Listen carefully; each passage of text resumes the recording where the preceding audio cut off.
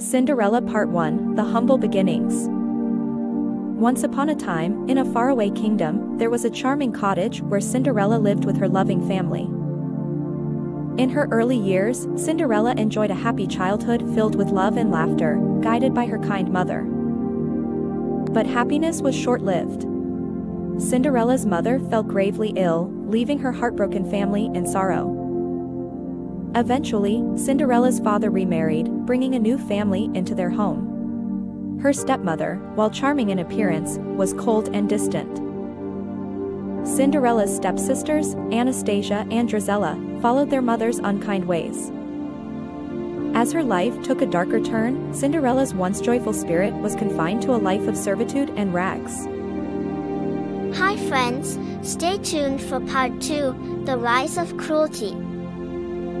Until then like, share, and subscribe for more adventure in Cinderella's life.